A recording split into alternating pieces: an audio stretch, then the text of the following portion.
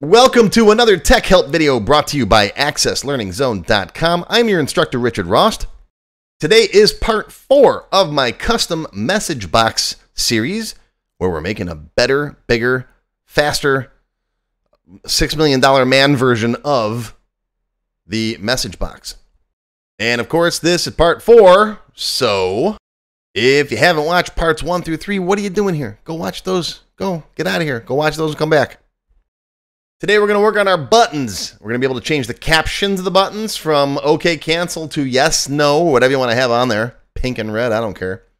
And then we'll see how to handle the return values and have different responses and stuff based on those. All right, you ready? Here we go.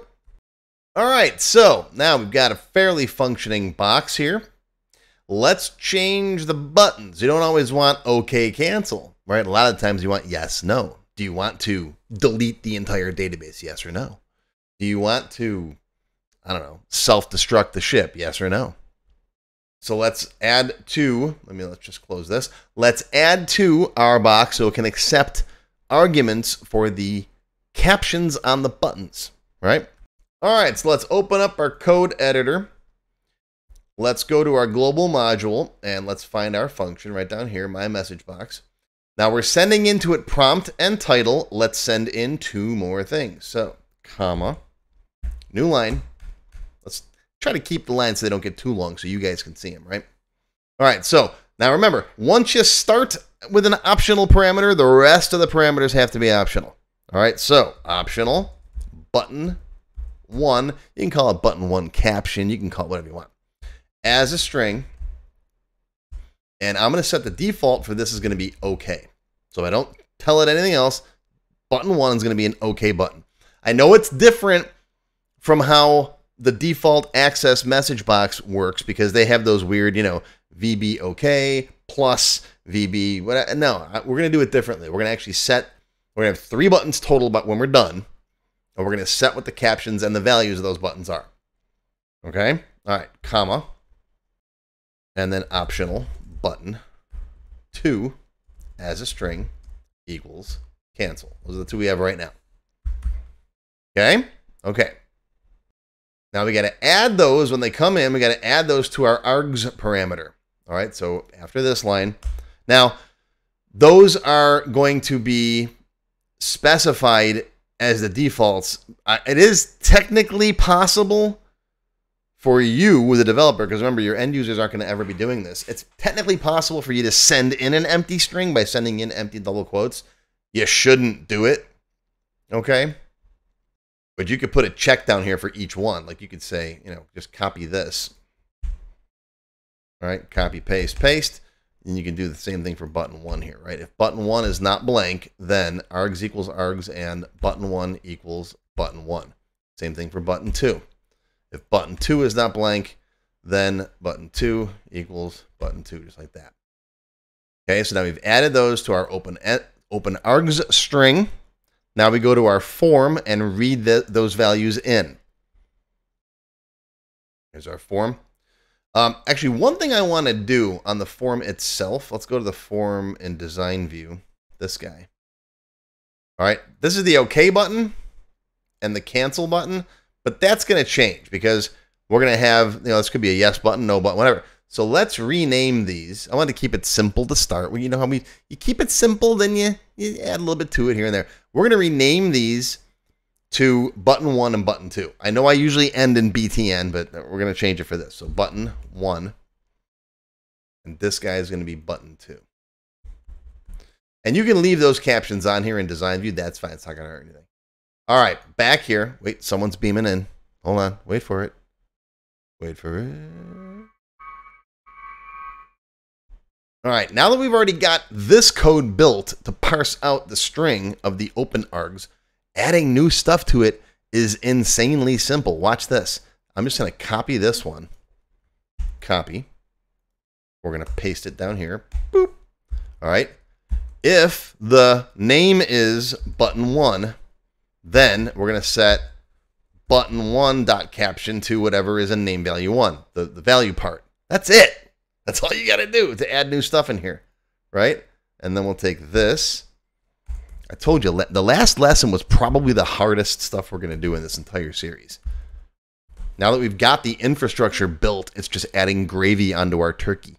And I'm, i keep thinking this because it's, I know you're watching this next week, but to me, for me, Thanksgiving's tomorrow. So I got turkey on the brain. All right, so now we're done. Now we can go back to our main menu code. All right, this is the code in the button that actually calls it right here.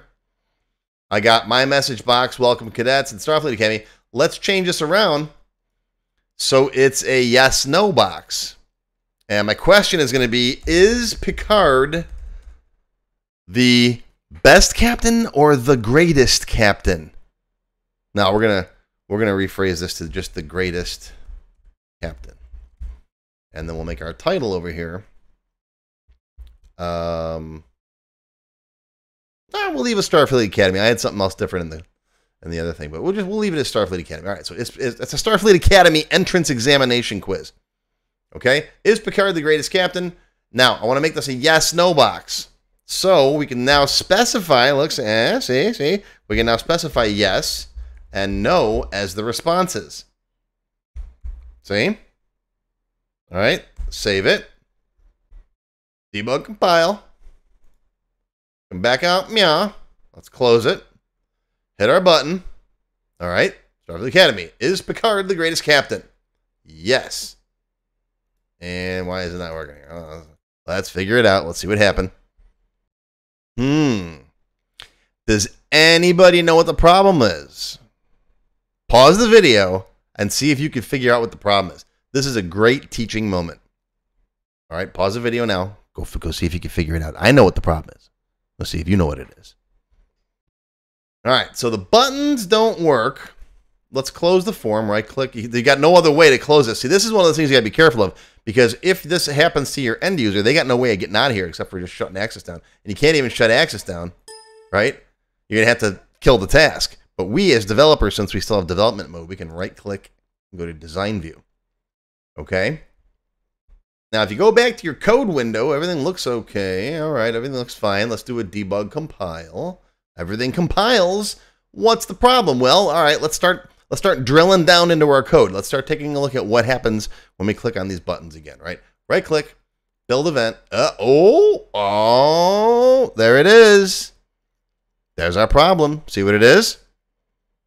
We renamed the buttons. When you rename the buttons, the code gets mismatched. See that? Note to Access Development Team. This would be an easy thing for you guys to fix, right? If a user changes the name of any object, if there's code under that object, right? An event or whatever, just change the code. It couldn't be that hard to do, right? You guys, you guys are awesome. You should be able to easily fix that. Somebody add this to the Access Team's to-do list. All right, this this has bothered me for years. Well, it gives me something else to teach in my classes, right? Okay, so Button one used to be our OK button. So go find the OK button code right down here, right? All right. Take that, delete this, stick it up in here. Okay? And we're no longer going to return just an OK. We're going to return the caption in the button.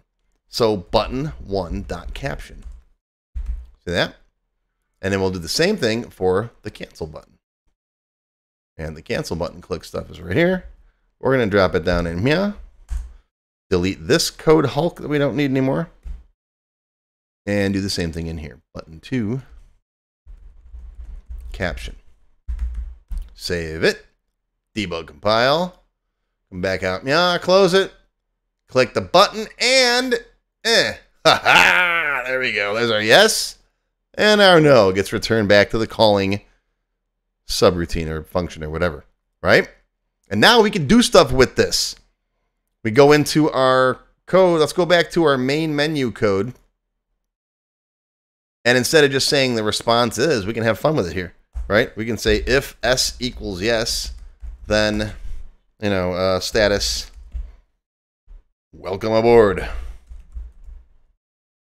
right? Otherwise, status, show this man to the airlock right? End if. And now we can say, boop, right? Welcome aboard, or no, Show this man to the airlock. See that? There we go. Now we're starting to get to the point where we're returning values. Now, another option you can do if you don't want to return a string is you can have the message box return a long, return a number. I actually prefer this method better. All right, I've been showing you as a string, but what I like to do is I like to have it so this behaves like a, it returns a number. Okay? So go back to the my message box function right here. And here we're going to change this from a string to a long. It's going to return a number now, which means the temp var that we're setting has to be a number. Okay, and that gets set in the form. So instead of returning that, we're going to say button one is going to return. Now, there's a lot of ways you can do it. Again, I give you options. You can return, you know, a one and a zero. You can return like because that way you can say if message box whatever then, okay. Um, that's definitely an option. Most of the time, I only need two buttons, yes and no. So you can return a one and a zero, but I'm going to make it so the buttons return their numeric value. So this is going to return a one. This is going to return two, because guess what? In the next part, we're going to add a third button, so we can have yes, no, and cancel. We'll do that in the next part. All right, but for now, we've got one and two. All right, save that, and now back in our main menu. All right, this is no longer going to return a string. All right, so we're going to change this to, uh, you, you don't even really need to declare this and put it into a variable, right? You could treat this just like I do in a lot of my classes, where I say like this, if my message box, right, equals one, then just like that, right? If this comes back one. And you could set these up as constants if you like. You can make your own constants like VBYES, VBNO. Remember those things? But then you run into problems if you rely on it being, you know, VBOK because that's got a different value than VBYES and so on. So you, you can stick with your own values here if you want. Okay? Uh, and these are still captions, so those are still strings. All right, save it, debug, compile. Come in here. Again, this is, you can do it the way you want to do it. You want to use numbers, you want to use strings, you want to use, I don't know, emojis. Do whatever you want. They're your Legos. Build it however you want to build it. Okay? There you go. There's some more functionality. Hey, uh, don't forget, if you like learning this kind of stuff with me, I got lots, lots, lots, hundreds of hours of lessons on my website. So come check it out. I'll put a link down below. My Access Developer lessons. If you're following along with this stuff, you belong in my developer class. You'll be an ace. You'll be a star. You'll be in there with the smart kids. But that's going to do it for part four, people. In part five, we're going to add that third button. Don't tell anyone.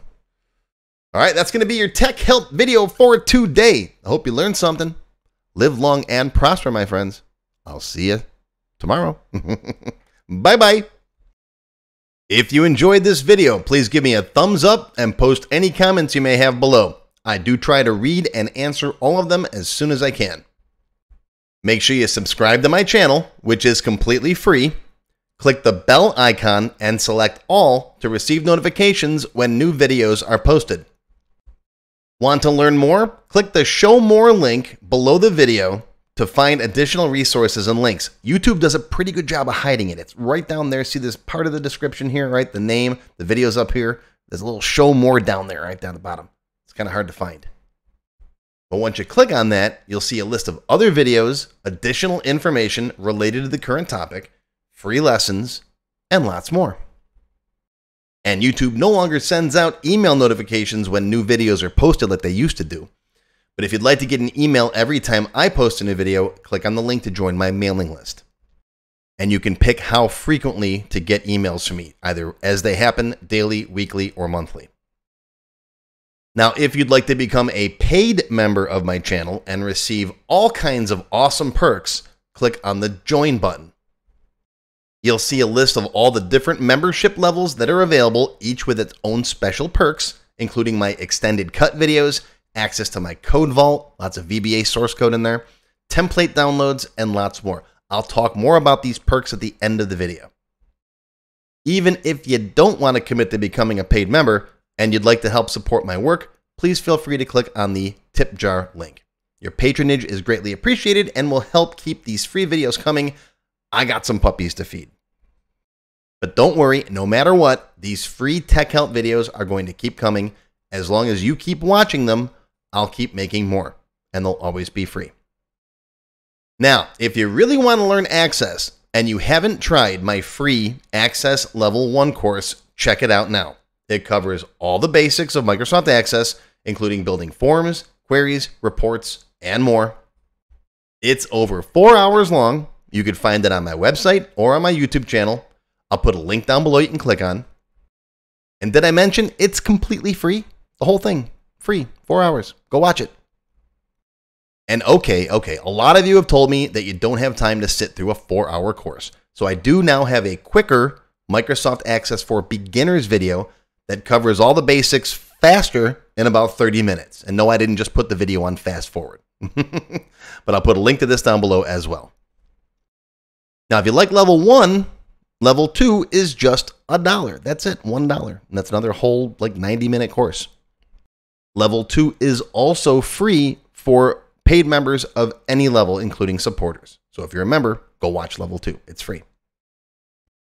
Okay, want to get your question answered in a video just like this one? Visit my tech help page and send me your question there. Members get priority, of course. While I do try to read and respond to all of the comments posted below in the comments section, I only have time to go through them briefly a couple of times a month, and sometimes I get thousands of them. So send me your question here on the tech help page, and you'll have a better chance of getting it answered. And while you're on my website, be sure to stop by my Access forum. We've got lots of lively conversations about Microsoft Access and other topics. I have a fantastic group of moderators who help me answer questions. Shout out to Alex, Kevin, Scott, Adam, John, Dan, Juan, and everybody else who helps out on the site. I appreciate everything you do. I couldn't do it without you. Be sure to follow my blog, find me on Twitter, and of course on YouTube. Yeah, I'm on Facebook too, but I don't like Facebook. Don't get me started. Now, let's talk more about those member perks if you do decide to join as a paid member. There are different levels silver, gold, platinum, and diamond. Silver members and up get access to all of my extended cut tech help videos, one free beginner class every month, and some other perks. Gold members get all the previous perks plus access to download the sample databases that I build in my tech help videos, plus access to my code vault where I keep tons of different functions that I use, the code that I build in most of the videos. You'll also get higher priority if you do submit any tech help questions. Now, answers are never guaranteed, but you do go higher in the list for me to read them. And if I like your question, you got a good chance of it being answered. You'll also get one free expert level class each month after you've finished the beginner series. Platinum members get all the previous perks plus even higher priority for tech help questions. You get access to all of my full beginner level courses for every subject. And I cover lots of different subjects like Word, Excel, VBA, ASP, lots of different stuff, not just Access. These are the full length courses found on my website. You get all the beginner ones. In addition, once you finish the expert classes, you get one free developer class per month. So lots of training. And finally, you can also become a diamond sponsor. You'll have your name or your company name listed on a sponsors page that will be shown on each video as long as you're a sponsor. You'll get a shout out in the video and a link to your website or product in the text below the video and on my website. So that's it. Once again, my name is Richard Rost. Thank you for watching this video brought to you by AccessLearningZone.com. I hope you enjoyed. I hope you learned something today. Live long and prosper, my friends. I'll see you again soon.